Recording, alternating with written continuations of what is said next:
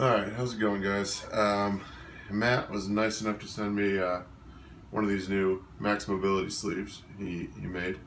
Um, I'm just going to go through kind of my impressions of it. And uh, yeah, uh, I'll take you through some of the stuff I've been doing with it, uh, some of the weights I've been using, um, and why I like it so far.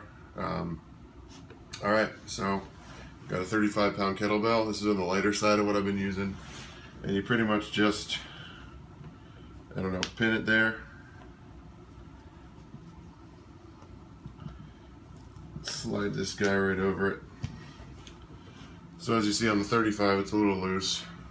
Um, but one of the things I've been really liking about it is right in here through my VMO uh, I had some knee, knee trouble earlier this year and I had a hard time getting in really deep into the joint um, hard enough with my thumb, really anything else. So I've just been holding this here. I just sit and watch TV, get a couple minutes with this on on the knee.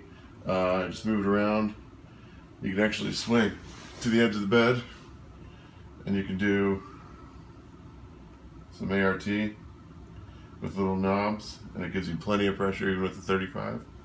Uh, most of the time on my legs I've been using a 53, but I'm traveling today to um, where I, am in Lawrence, Kansas for their uh, downtown shot put meet. So I borrowed this kettlebell from uh, local gym. Didn't have to bring it with me. I just brought the sleeve and if you can find a ball or something heavy, you can use the sleeve on the road, which I think is going to be great for me because we travel a ton.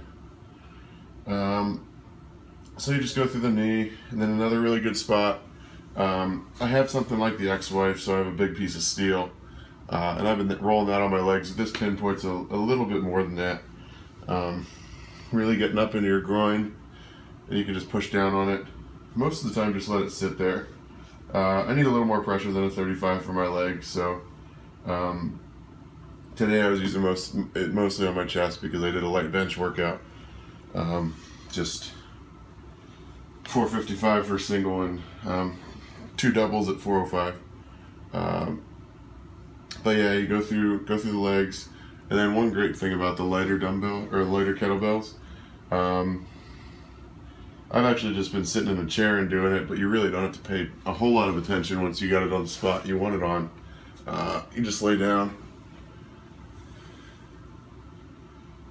and just move your arm around. I've really been um, doing a lot of ART on my on my pecs. They don't get a lot of work just because it's not something you think about every day. Um, and then being a shot putter, I'm very one-sided, so a lot of my ribs get get moved. I have subluxated ribs on my left side all the time just from my blocking. Um, and these nubs, like usually it's my first, second, or third rib.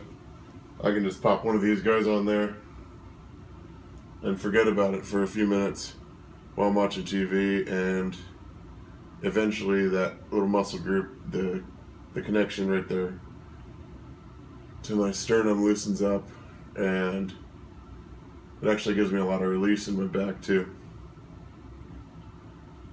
So you just sit there with it on your chest. Um, I've really been liking it. It it's a lot less labor intensive. I mean, it's a heavy thing, but it's a lot less labor intensive than if you were to just try to dig in there yourself with your thumb or something. Um, and another thing that it's great for, I think, is just having it sit on your traps.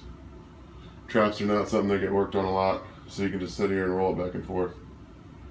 And those little knobs really dig in there. You get a nice stretch up the side of your head and relieve a lot of that tension. Um,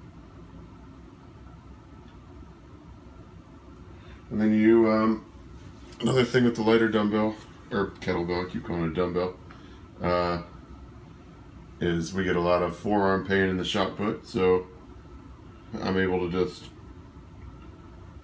let it sit on all my extensors here. Um, and just slowly roll it down your arm. It's just a, it's a good idea, Matt. Good work. Um, I definitely think it would be beneficial to have a couple different sizes. Um, just sizes of sleeves so people get like I don't know, for me it would be awesome to get one that would fit on a shot put.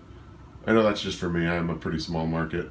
Um, but if I could get one of these that I could put on a shot put, I travel with a shot put all the time anyway, so uh, that would give me the perfect training tool. Or rehab tool, I guess. Um, but yeah, I've just been, I've been playing around with it. I have a 53 pound kettlebell at home, and that's about ideal for my hips and stuff. Anything much bigger than that, you're going to stretch it a little too much. Um, but I think anywhere from probably about 30 to 60 pounds. I don't know what Matt's used it used it for so far, but um, that's about the range that I've been working in. And another really great thing is you just sit here and on the inside, it not only triggers or puts a nice point on your quad insertion um, right there, but it also stretches your hip at the same time. So that's a that's a nice little benefit. Um, yeah, I mean those are my first impressions. So far, I love it. Um, it's just another tool in the arsenal, uh, trying to keep yourself healthy and keep competing. Uh, so, good work so far, Matt. Um, hope you enjoyed the video. Thank you.